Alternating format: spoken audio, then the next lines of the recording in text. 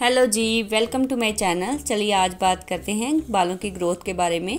ये जड़ी बूटी मिक्स मैंने फ़्लिपकार्ट से ऑर्डर करा है और ये मुझे आज ही डिलीवर हुआ है। ये बहुत अच्छा लगा मुझे। इसके पैकिंग पे इन्होंने 11 जड़ी बूटियाँ मेंशन करी हुई हैं और इस तेल को बनाने का तरीका भी साफ़ साफ़ बॉटल के कवर पर लिखा हुआ है।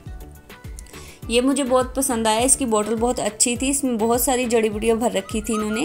ये इन्होंने मेंशन करी है कि इसमें 11 जड़ी बूटियाँ हैं, जो बालों के लिए बहुत अच्छे से काम करती हैं, जैसे ब्रह्मी है, तुलसी है रोज़ पेटल है, गुड़हल है मेथी दाना है, कड़ी पत्ता है, आंवला है, दालचीनी है इसके अलावा इसमें और भी दो तीन हर्ब्स हैं जो बालों के लिए काफ़ी अच्छे से उनको नरिश करती हैं सॉफ्ट बनाती हैं और हेयर ग्रोथ को बढ़ावा देती हैं।